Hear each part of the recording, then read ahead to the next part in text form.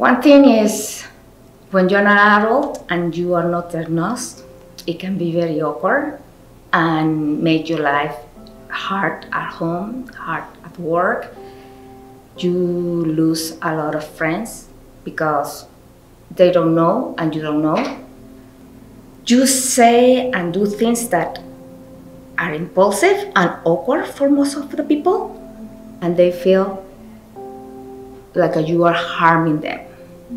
But it's not your desires, just the way you express your thoughts and your impulsivity. You need a lot of support, and just kindness helps a lot.